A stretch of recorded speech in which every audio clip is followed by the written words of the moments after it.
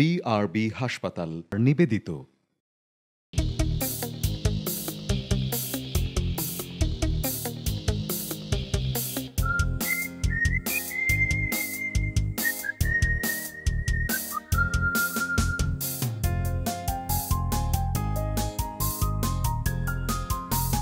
প্রিয় দর্শক আমন্ত্রণ জানাচ্ছি এনটিভির প্রতিদিনকার আয়োজন বিআরবি হসপিটাল স্বাস্থ্য প্রতিদিন অনুষ্ঠানে। দর্শক, আজ আপনাদের সঙ্গে আছি আমি ডাক্তার সাখাওয়াত হোসেন। প্রিয় দর্শক, আজকের এই অনুষ্ঠানে আমরা আলোচনা করব ক্যান্সার প্রতিরোধে করণীয় কি সে বিষয়ে। এ বিষয়ে কথা বলবার জন্য আমাদের সঙ্গে স্টুডিওতে উপস্থিত আছেন একজন ক্যান্সার বিশেষজ্ঞ। চলুন দর্শক, অনুষ্ঠানের শুরুতেই আমরা পরিচিত হয়ে নেই আমাদের আজকের অতিথির সঙ্গে। ডাক্তার রকিবউদ্দিন আহমেদ উনিশশো ছেষট্টি সালের নভেম্বর মাসে রাজবাড়ী জেলায় জন্মগ্রহণ করেন। তিনি উনিশশো নব্বই সালে শেয়ারি বাংলা মেডিকেল কলেজ থেকে এমবিবিএস ডিগ্রি অর্জন করেন। এরপর তিনি চিকিৎসা বিজ্ঞানে উচ্চতর এমডি ডিগ্রি লাভ করেন। বর্তমানে তিনি ঢাকা মেডিকেল কলেজের ক্যান্সার বিভাগের সহযোগী অধ্যাপক হিসেবে কর্মরত। স্যার আপনাকে আমন্ত্রণ জানাচ্ছি আমাদের অনুষ্ঠানে। ধন্যবাদ আপনাকে। আপনার মাধ্যমে এনটিভি সমস্ত দর্শকদেরও আমি ধন্যবাদ জানাচ্ছি। স্যার ক্যান্সার তো অনেক রকমের হয়। শরীরের যে কোনো অংশে ক্যান্সার হতে পারে এবং নানান ধরনের। তার মধ্যে কিছু ক্যান্সার সহজে চিকিৎসা করে নিরাময়যোগ্য আবার কিছু ক্যান্সার একেবারেই জটিল এবং নিরাময়যোগ্য নয় প্রায় এরকমও হয় বা মরণ ব্যাধি। তো সেই ক্ষেত্রে বিভিন্ন রকমের এই যে ক্যান্সারগুলি হয়, তার প্রতিরোধের বিষয়ে যাওয়ার আগে আপনি যদি আমাদের কারণ সম্পর্কে একটু বলেন যে অ্যাকচুয়ালি ক্যান্সারের কারণও এরকম জানা যায় না, কিন্তু কিছু রিস্ক ফ্যাক্টর বা যেগুলো ঝুঁকি বাড়ায়, সেই বিষয়গুলি কমনলি কোন কোন বিষয়গুলি আমাদের ক্যান্সারের ঝুঁকিকে বাড়িয়ে দেয়? আপনি ঠিকই বলেছেন। অ্যাকচুয়ালি ক্যান্সার একটি মরণ ব্যাধি বা ঘাতক ব্যাধি। তবে এটিকে আগে যেভাবে ঘাতক ব্যাধি বলে মনে করা হতো এখন আধুনিক চিকিৎসা ব্যবস্থা আসার পর এটি কিন্তু নিয়ন্ত্রণ করা সম্ভব। আসলে আমি যদি টোটাল পিকচারের কথা বলি তাহলে আমি এরকম বলতে পারি ওয়ান থার্ড ক্যান্সার কিন্তু প্রিভেন্টেবল অর্থাৎ যাতে ক্যান্সার না হয় সে ব্যাপারেই আমরা স্টেপ নিতে পারি। ওয়ান থার্ড পেশেন্ট যারা ক্যান্সারে এরা চিকিৎসাযোগ্য অর্থাৎ তারা চিকিৎসা করলে নিরাময়যোগ্য। নিরাময়যোগ্য। তারা ভালো হয়ে যাবে। বেশিরভাগ ক্ষেত্রেই যদি প্রাথমিক পর্যায়ে ধরা পড়ে, তাহলে রোগের ভালো হয়ে যাওয়ার সম্ভাবনা অনেক অনেক বেশি এবং ভালো হয়েও যায়। আর ওয়ান থার্ড পেশেন্টগুলোই অ্যাকচুয়ালি অ্যাডভান্স কেসে আসে আমাদের কাছে, তখন এটি চিকিৎসা করে অতটা সফলতা পাওয়া যায় না। এই জন্যই আমাদের উচিত হবে ক্যান্সার প্রিভেনশন অ্যাকচুয়ালি বাংলাদেশে, বাংলাদেশ একটি গরিব দেশ মেজরিটি আমাদের দেশের লোকজনই গরিব। তো এই চিকিৎসা ব্যবস্থা একটু ব্যয়বহুলও বটে। তবে ব্যয়বহুল বললে আবার যেরকমটা বোঝায় সেরকমটা না। অ্যাকচুয়ালি যতটা ব্যয়বহুল বলা হয়, বাস্তবে অতটা না। চিকিৎসা ব্যয়, এটা সব ক্ষেত্রে, সব রোগের ক্ষেত্রে প্রযোজ্য। ক্যান্সারের রোগ রোগ নিয়ে মানুষের এরকম একটি ধারণা যে এটি খুবই ব্যয়বহুল। হ্যাঁ কোনো সন্দেহ নাই, দীর্ঘদিন যাবতই আমাদের ক্যান্সার নিয়ে যুদ্ধ করতে হয়। এই যুদ্ধে তার বিভিন্ন সময় অনেক অর্থ ব্যয় হয়ে যায়। এটিও আমি আবারও বলব, যদি এই যুদ্ধটা অনেক পূর্বেই শুরু করা যায়, অর্থাৎ রোগ শনাক্ত যদি আমরা পূর্বেই করি তাহলে আমাদের এই যে অর্থ অপচয় বা অর্থ ব্যয় যেটি বলা হয় এটিও কমে আসবে। শনাক্ত করার আগেই যদি আমরা প্রতিরোধ করতে পারি সেটি আমাদের জন্য আরও ভালো হবে। এবং শুধু তাই নাই ওয়ান থার্ড প্রতিরোধ করতে সক্ষম আমরা। সেই জন্যই আপনি যদি আমাদের রিস্ক ফ্যাক্টরগুলি বলেন যে ক্যান্সারে কমন রিস্ক ফ্যাক্টরগুলি কি? হ্যাঁ আপনি ঠিকই বলেছেন। আমরা যদি ক্যান্সারের কারণগুলোর কথা বলি এটি আসলে একদম ব্রডলি আমরা দুটো ভাগে ভাগ করতে পারি। একটি জেনেটিক কারণ। জেনেটিক কারণ অর্থাৎ এটা জিন, জিনের পরিবর্তনের ফলে আসছে। এই জেনেটিক জিন মানে এই যে এই যে, এই অংশ আমি বললাম, জেনেটিক পরিবর্তন, এর কিছু অংশ আবার বংশগত, অর্থাৎ পরিবারগতভাবেই চলে আসে। মায়ের থাকলে মেয়ের হতে পারে। এটি একটি অংশ।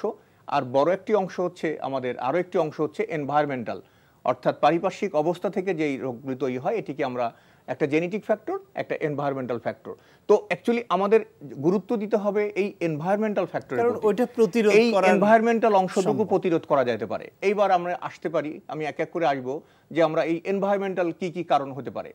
একটি খুব বড় কারণ এবং আমি মনে করি এটি একেবারে প্রধান কারণ সেটি হচ্ছে স্মোকিং অর্থাৎ ধূমপান ক্যান্সারের একটা প্রধানতম কারণ। তো আমরা যদি ধূমপানের ব্যাপারে আরও জোরালো ভূমিকা নেই বা আমরা ধূমপানের ব্যাপারে সতর্ক থাকি বা এটিকে যত নিয়ন্ত্রণ করতে পারি, তাহলে আমাদের ক্যান্সারের একটি বড় অংশ, আমি আবারও জোর করে বলব একটি বড় অংশ আমরা প্রতিরোধ করতে পারি। এটি এটি গেল স্মোকিং এর অন্য কারণ শোনার আগে এই বিষয়ে আরেকটা জিনিস জানতে চাই সেটা হলো ধূমপানের বিষয়টাই আসলে অনেকের মধ্যে এই ধারণাটা কাজ করে এটা ফুসফুসের ক্যান্সারের জন্য দায়ী। আসলে ধূমপান কি শুধু ফুসফুসের ক্যান্সারের জন্যই দায়ী না শরীরের অন্যান্য ক্যান্সার ধন্যবাদ আপনাকে আপনি অনেক খুবই সুন্দর একটা প্রশ্ন করছেন আমার খুব ভালো লাগতেছে অনকোলজিস্ট হিসাবে। ধূমপানের সাথে লাং ক্যান্সারের রিলেশনশিপটা জোরালো। বাট এই ধূমপানের সাথে আমাদের ক্যান্সারের, বেশিরভাগ ক্যান্সারই একেবারে ডাইরেক্ট রিলেশনশিপ আছে। যতটা আমরা ফুসফুসের ক্ষেত্রে বলি, ঠিক অতটা অংশ হয়তো বা না, কিন্তু মেজরিটি স্পেশালি আমি যদি বলি বাংলাদেশের ছেলেদের দ্বিতীয়তম ক্যান্সার হচ্ছে আমাদের নাক, কান, গলা রিজনে ল্যারিংস যেটিকে আমরা শ্বাসনালী বলে থাকি। অ্যাকচুয়ালি ওরাল ক্যাভিটি এবং নাক, কান, গলা মানে এই অংশটুকু শরীরের, এখানেই আমার ফুসফুস ক্যান্সারের পরবর্তীতেই দ্বিতীয় ক্যান্সারের মানে স্পেসটা জায়গাটাই হচ্ছে নাক কান গলা এবং মুখ গহ্বরের ক্যান্সারের কথা বলি। এগুলোর সাথে একেবারে ডাইরেক্ট রিলেশন আছে আমাদের ওই মানে ধূমপানের। শুধু তাই না শুধু এই শুধু ছেলেদের কেন? আমি যদি মেয়েদের কথা বলি আমাদের জরায়ুর ক্যান্সার বাংলাদেশের প্রধান মানে মেয়েদের একেবারে এক নম্বর ক্যান্সার হচ্ছে জরায়ুর ক্যান্সার জরায়ুর ক্যান্সারের সাথে আমাদের স্মোকিং রিলেশন আছে। নট অনলি দ্যাট আমরা যদি পাকস্থলীর কথা বলি আমরা যদি ইউরিনারি ব্লাডারের কথা বলি আমরা যদি সিএ কিডনির কথা বলি এই সবগুলোর সাথেই মোরালেস বেশিরভাগ সলিড টিউমারের ক্ষেত্রেই এই ধূমপানের একটা একেবারে নিবিড় সম্পর্ক রয়েছে। স্যার ধূমপান তো হচ্ছে গিয়ে তামাকজাত দ্রব্য যেটাকে আমরা ধোঁয়া করে যেটা আমরা ইনহেল করছি সেটা। কিন্তু তামাকজাত দ্রব্য আমরা বিভিন্ন ফর্মেও ব্যবহার করি। চিবিয়ে বা মুখে খাওয়ার যে তামাকজাত দ্রব্য সেগুলিও ক্যান্সারের জন্য ভূমিকা রাখে কিনা বা কতটা রাখে? অ্যাকচুয়ালি শুধু স্মোকিং বললে আমরা শুধু ধূমপান না এটা তামাক এবং তামাক জাতীয় যে কোনো ফর্মেই কেন। তামাকজাত দ্রব্যের তামাক জাতীয় দ্রব্যের ব্যবহার। এটি কেউ যদি জর্দা আকারে খেয়ে থাকে কেউ বিভিন্ন রকম প্রসিডিউরই মানুষ কিন্তু তামাক গ্রহণ করেন। এই সবগুলো সবগুলো প্রসিডিউরই আমরা মানে আমরা মনে করি এই সবগুলোই আমাদের ক্যান্সারের জন্য একেবারে একটা বড় ধরনের একটা কারণ। আমি আবারও কারণে ফিরে যেতে চাই জি। আমরা এনভায়রনমেন্টালের ভিতরে একটা বলেছি মানে। বা তামাক জাতীয় দ্রব্য। দুই আমাদের কিছু ভাইরাস আছে। এই ভাইরাসও আমাদের ক্যান্সারের সাথে জড়িত। কয়েকটি ভাইরাসের কথা আমি উল্লেখ করতে চাই যেরকম হিউম্যান প্যাপিলোমা ভাইরাস আমরা herpes simplex virus human papilloma virus মেয়েদের যে জরায়ুর ক্যান্সার বাংলাদেশের নাম্বার ওয়ান ক্যান্সার মেয়েদের এটির সাথে একেবারে সরাসরি জড়িত। পঁচানব্বই পার্সেন্ট জরায়ুর ক্যান্সারের সাথেই আমাদের হিউম্যান প্যাপিলোমা ভাইরাস এইচপিভি যেটাকে বলা হয় এটা জড়িত। সো এই কিছু ভাইরাসও আমাদের করে।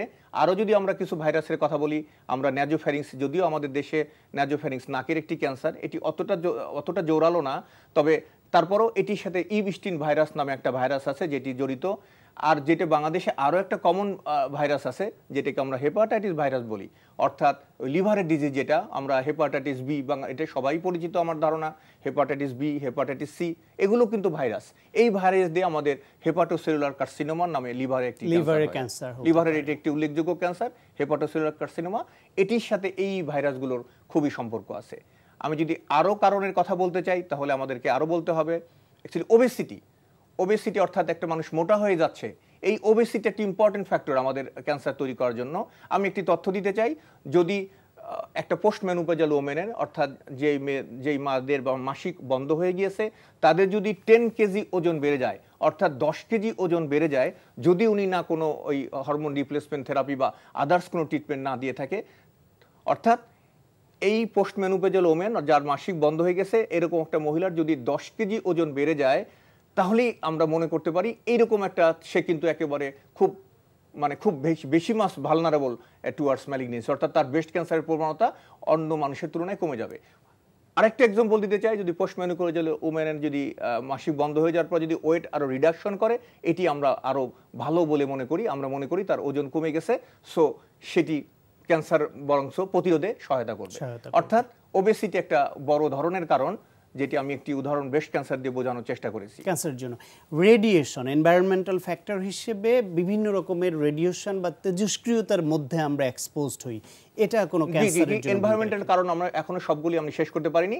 আরও বলব যেরকম কেমিক্যালস হ্যাঁ ইয়েস আমরা যে কেমিক্যালসগুলো একেবারে বলা যেতে পারে এগুলোর সাথে ক্যান্সারের খুবই দায়ী আমরা যে বিভিন্ন ওই ডাই ফ্যাক্টরিতে কাজ করি কয়লার ফ্যাক্টরিতে যারা কাজ করে যারা ওই প্লাস্টিক দ্রব্য নিয়ে কাজ করে যারা রঙের ফ্যাক্টরিতে কাজ করে তাদের কিন্তু এই যে এই মূত্রথলি, অর্থাৎ ব্লাডারের ক্যান্সার হওয়ার প্রবণতা বেশি।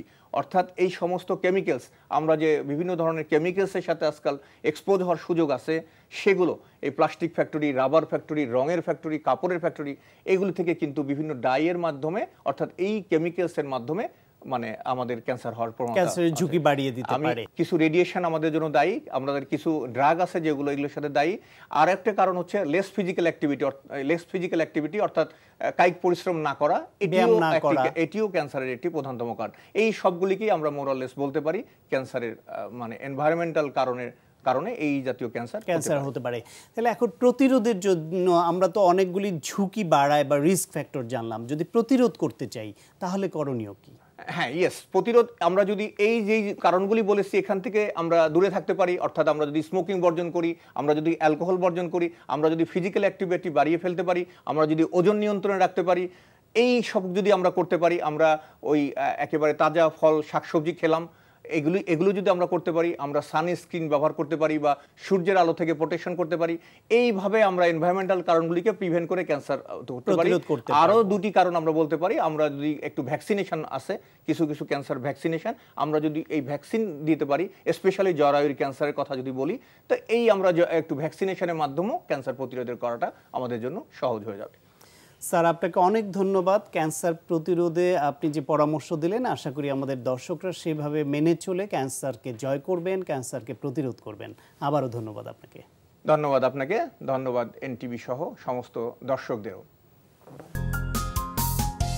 প্রিয় দর্শক এই অনুষ্ঠান সম্পর্কে আপনাদের যে কোনো মতামত বা পরামর্শ থাকলে অবশ্যই লিখে জানাবেন এই ঠিকানায়। প্রযোজক বিআরবি হসপিটালস স্বাস্থ্য প্রতিদিন। এনটিভি বিএসসিসি ভবন সপ্তম তলা একশো দুই কাজী নজরুল ইসলাম এভিনিউ, কারওয়ান বাজার, ঢাকা এক দুই এক পাঁচ। ফ্যাক্স নম্বর নয় এক চার তিন তিন আট ছয় থেকে সাত পর্যন্ত। ইমেল বিআরবি হসপিটালস স্বাস্থ্য প্রতিদিন অ্যাট এনটিভিবিডি ডট কম প্রিয় দর্শক, আপনার প্রিয় বিআরবি হাসপাতাল স্বাস্থ্য প্রতিদিনের আগামী পর্বে যা রয়েছে আমাদের শরীরের একটা ইমিউনো সিস্টেম আছে যে ইমিউনো সিস্টেমের কাজ হচ্ছে বাইরের ক্ষতিকারক ব্যাকটেরিয়া ভাইরাস থেকে আমাদের রোগ প্রতিরোধ করে।